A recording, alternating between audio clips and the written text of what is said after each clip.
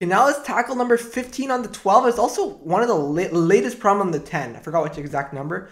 Okay, so we have a set of numbers is sum free if whenever x and y are, they don't have to even be distinct. It's just that whenever we have two elements, they can't sum to another element. And for that reason, we also can't have doubles. So if A exists, we can't have 2A exist in our set. What's the greatest number of elements in a sum-free subset? Okay, so 1, 2, 20, 18, 19, 20. What is the optimal value here? Okay, so like try to imagine here, like what would be optimal? Would it be having, let's say, one, let's say we have one, right? Then we can't have two, right? Clearly. Maybe we can also have three, right? Then we can't have four. We can have four because one plus three is four. We can have five then, but we can't have six, seven, so on. We can have nine, we can have 11, we can have 13, 17, 19. But the, the key thing here is any even number, like any even number, can be represented as a sum of two of these odd numbers. So this gives us a construction for 10. Wow, interesting. Actually, something interesting here. This, this is not the only possible construction for 10. What about, let's say we have 11, 12, all the way till 20. Now the idea, this one in my opinion is a little bit more intuitive, and it's the one I personally came up with. The idea is that, okay, the smaller ones, you can probably add them up. The larger ones, the last half, you cannot add any of these two values to form, because if you add any of these two, it'll be greater than 20.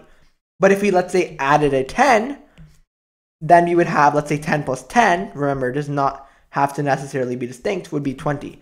That, that's why we can't add the 10 here. So this, this, in my opinion, is also another construction for 10.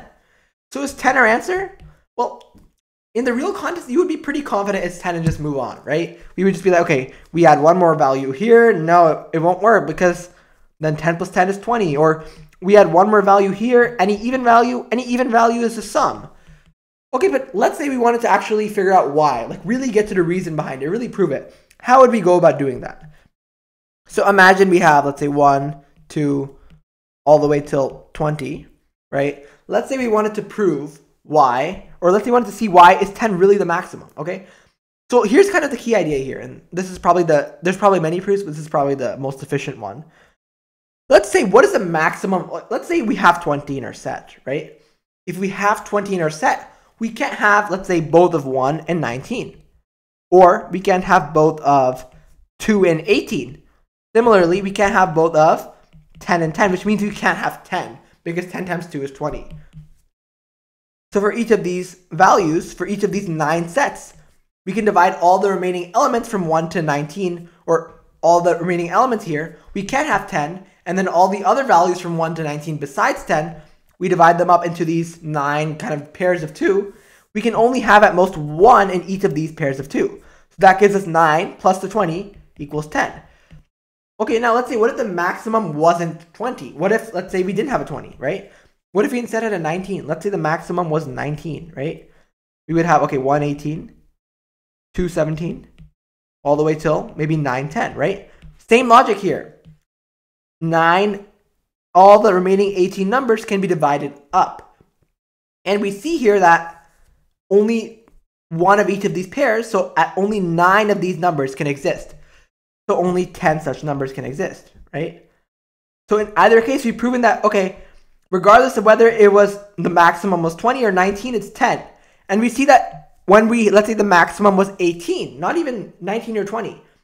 It's the exact same logic as a 20 case, except now, in fact, it's the same thing because the same 20 logic applies to any even number. So we would have, okay, 117, 216, all the way till 9, 9, 8, 10. And we would have that, okay, only 8 elements. So in this case, the maximum would be 9. Same thing for 17, just like 19, except one less. So 9 would be the maximum. So the maximum in any of these cases, other cases where the highest element is not 19 or 20, is going to be even less than 10. So we see that, okay, 10 is indeed going to be the maximum. There's nothing possible higher. And while you probably wouldn't do this logic in the real contest, the key logic here would be to look at maybe like one or maybe two cases and see that no matter what you do, you can't you cannot possibly add another element. And this seems pretty optimal. Like why would a smaller value do better than a larger one? Or why would an even not one be do better than an odd one? So these are kind of like the uh, ways to just figure it out in the contest, and you would probably just have to hope that 10 was the right one based on what you've seen. And here's like how you would actually look through it in a more careful light. So yeah, I hope you enjoyed this video. Thanks for watching.